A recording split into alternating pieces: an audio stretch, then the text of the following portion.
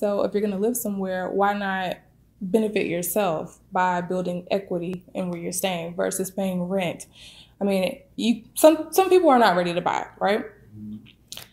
And that's not their fault. Yeah. But renting should not be a long-term goal. It should only be for a short period of time. It should be enough time for you to get your circumstances in order and then you need to move on to the next step.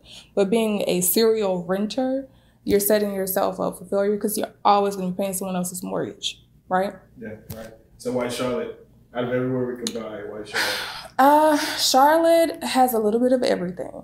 So if you're someone that is into the sports, we have the NBA teams, we have the NFL teams. If you're someone that's looking for the urban life, you can look out behind you right now. You have a great backdrop of the city right now, um, uptown. We have the public transportation. You have the light rail, which is now going from UNC Charlotte all the way to 485 South. The hookah lounges and the hookah bars. I think I just told you that I went to Crave, the dessert bar on Graham Street. That's really fun. It's kind of low key, laid back, nice place.